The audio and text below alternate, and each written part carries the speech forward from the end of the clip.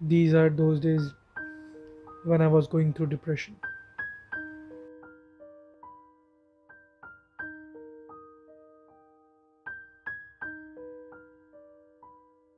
It was very tough.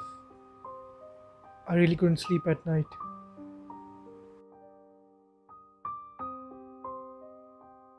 I used to distract myself by playing video games. I used to walk in my room all night.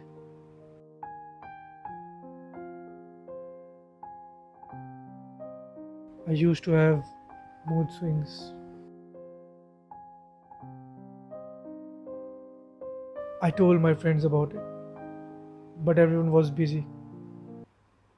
They didn't take it seriously.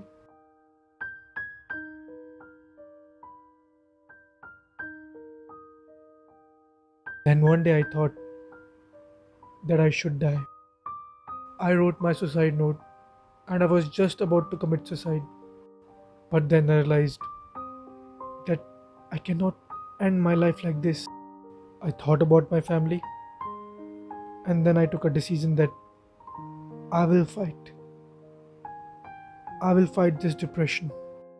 Today I have come out of depression and I just want to say one thing. We all are fighters. We have to fight. If I can beat this depression, you also can. Just do not give up.